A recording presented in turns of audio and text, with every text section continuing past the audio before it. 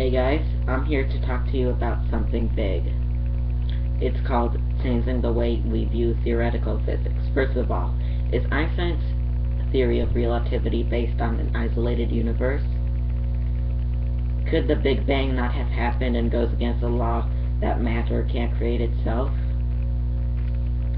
Isn't it possible that light itself is composed of matter and that something that is composed of less matter can actually travel faster than the speed of light?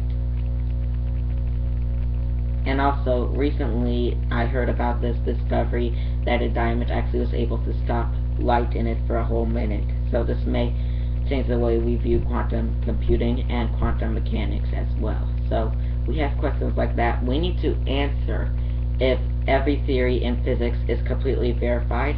We need to answer if we're using classical relativistic measurements in order to verify theories such as this like, are we using relativistic or classical me measurements? Are we doing this in order to benefit humanity, or just to come up with a theory that cannot be proved? How are we using theories in physics? We need to restore our minds and use it to make a positive difference in the world, okay? And that's what I plan to do. This is my story. What is yours? Andrew Magdy Kamal world record holder for highest IQ and IQ average, and